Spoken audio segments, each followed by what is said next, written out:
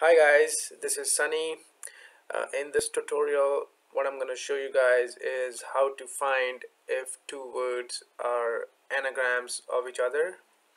So, for example, let's say uh, eat is one word, the second word is tea, and the third word is it So, if you look at this, all these three words have the same letters and they are actual words so all these three words are actually anagrams of one another. And um, I know for sure you guys uh, if you guys are in college or university or in high school taking a programming course anagrams like you know making a program for anagrams is like a very common question. So like this sort of question will be on the test or the exam or an assignment or something. And for sure this is gonna be very very helpful for you guys.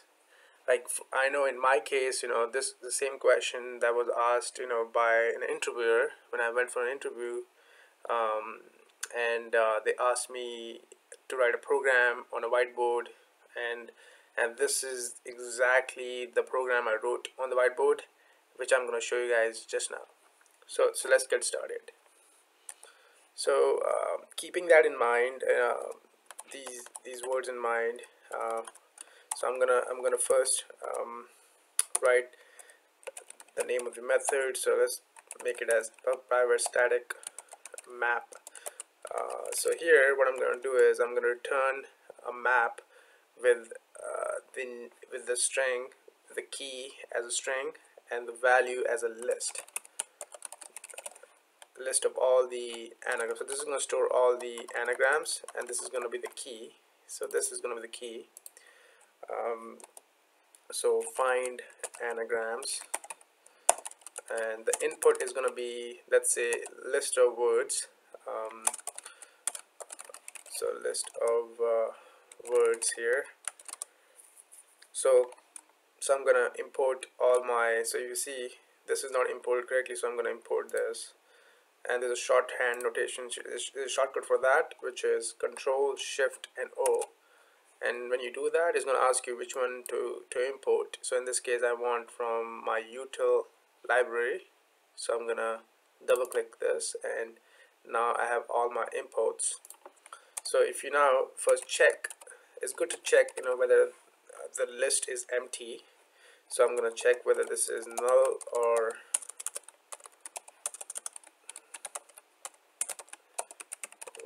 dot length. Sorry was dot size. This is a list equals zero. If that's the case um, what we want to do is we, just want to return null because there is no list provided to us so we're just going to return a null map. Um, so now um, what we want to do is first also we want to declare a hash map with string as a key and list as a value and we're gonna name it as um, uh, maybe um, anagrams. And uh, so this is gonna be I'm gonna initialize as null here. So now once we once we go past this there's always uh, one, one thing to point out over here guys is always good practice in software to actually uh, put all your variables declare all your variables in the beginning.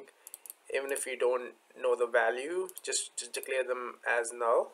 And later on maybe now in this case I'm gonna initialize this. So it's gonna be anagrams equals new hash map I'm gonna use. So hash map is the interface I'm sorry this is the implementation and map is an interface. So I'm just uh, initializing anagrams here. And the next thing I want to do is um, I'm going to run a for enhanced for loop which is string word words. So so now I'm gonna get all the words here. For example let's say that this was the list and this list had these words eat tea and ate so now the first the first time it goes in this for loop I'm gonna have this word which is gonna be eat. The second time it goes in the for loop is gonna be tea and the third time it goes is gonna be ate and so on. So the first time it goes what we're to do is and this is the logic that I uh, put down uh, when I was making this method the very first time on the whiteboard during the interview. Um, so what I want to do is first I want to uh, put this uh, in a character array and I'm going to tell you why I'm doing like this. This is just a personal choice. Um, this could have been done some other way as well but this is how I chose to write this method. Um, word.trim dot to character array. And uh, the next thing is going to be I want to sort this and I'm going to tell you why I'm sorting why I'm converting it to a character array in just a second. So now once you sorted this the next thing I want is sorted the sorted word of this character array. So this is going to be string dot value of um, character array okay and uh, that's it. So okay now let me explain to you guys what I'm doing over here. So let's say the word is the first word is is eat. Okay? So it goes into this for loop. Then I'm gonna put it into a character array and I'm gonna sort this. That's what's going on here. So it's gonna be this word is to be sorted when I execute this line. And here this is just to be just putting all those letters together and put them as one string. So if you sort them that's going to be like so. So it's going to be so this sorted word is going to have a e t like this. And the reason why I'm doing this because I'm gonna be using a hash map. And what I'm gonna do is I'm gonna put this key for in this hash map and then I want to do let's say for there's a next word which is tea. It, it comes in this for loop and tea is gonna have the same key as well just like for eat and ate. All three will have the same key because I'm sorting them over here. So they all will have the same key so I'm just gonna what I'm gonna do I'm gonna put them in the same list. So they're gonna have so all these three words will have the same key which is AET and I'm gonna put them in one list here so that's my thinking behind this. And the next thing I want to do is I want to check whether anagrams that's my hash map contains this key which is sorted word so if it contains this key that means I already have at least one um, one word in my in my list um, for this key. So what I want to do is I want to first get that list and add my new word into that. Append my new word into that list. So list um, so that's a new list. That's gonna be anagrams dot get object for sorted word. And I want to do new list dot add um, and I want to add I don't want to add sorted word but I want to add um, in this case word. Because that's the word I want to add. Sorted word is only for the key. This word is is the value that I'm to put in this list. Okay so if it doesn't contain if the map doesn't contain this sorted word that means this key is not there in the map. I'm gonna create a key for this. So so I'm gonna do first I'm gonna create the list a new list over here. So list equal new array list. So let's let me explain to you guys what I'm doing here. So here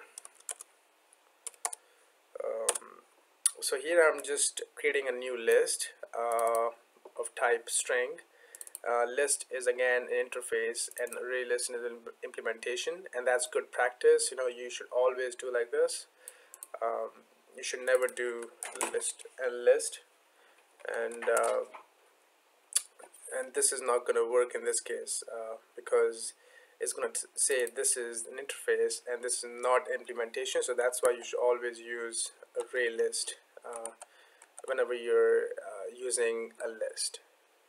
So now here I just declared a list and now what I'll do is I I would like to put this this word into my list. So I'm going to add word and and then at the end I want to put it into my hash map which is anagrams.put and the key is going to be the sorted word and the value is going to be the list that we're going to put.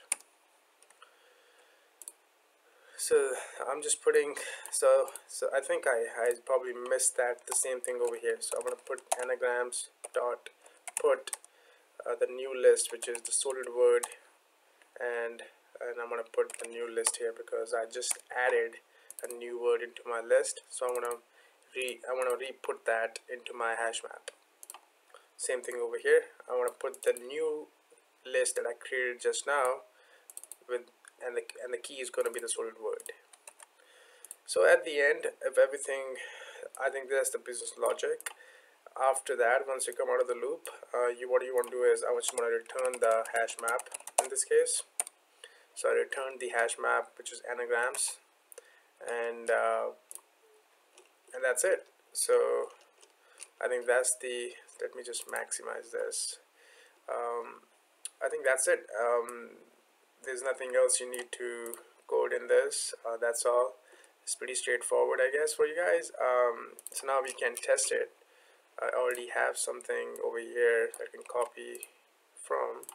So I have some some letters some words just E T tan ate nat and bat. And let's see if I what happens when I put these these uh, words into my uh, method which is find anagrams and the name of the list is list. So now run this. Okay so as you see uh, ABT is a key. So whatever you see on the left side of the equal sign that's the key. So that's the key this is a key this is the key of, of the hash map. And all these um, these are values associated to the key. So in this case ABT is a key and that's all there's only one match there's only one match in that um, hash map uh, for that key which is BAT. For AET key there's three matches EAT, TEA and ATE if you look at this the, all these are anagrams because they all have the same letters and in this case ant is the key and tan and nat are anagrams of, of each other. So I think that's that's it you know for uh, this tutorial. I, I hope it helps you guys. This was the question that was asked uh, by the interviewer and uh, I had to write this on the whiteboard um, so I hope this is clear. Uh, if there's anything else you guys want me to cover please let me know. Uh, if you like this video please subscribe leave a comment. I read all my comments Uh, again thank you so much guys for watching this video. Have a very nice day